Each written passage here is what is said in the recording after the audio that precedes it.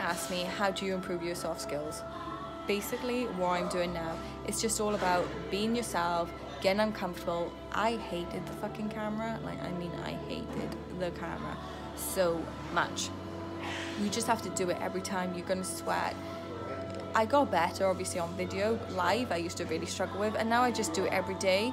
Don't get me wrong, maybe not be successful, but it's allowed me to just embrace myself. And then, as everyone says, nothing looks as good as confident feels. So obviously, I'm very confident myself.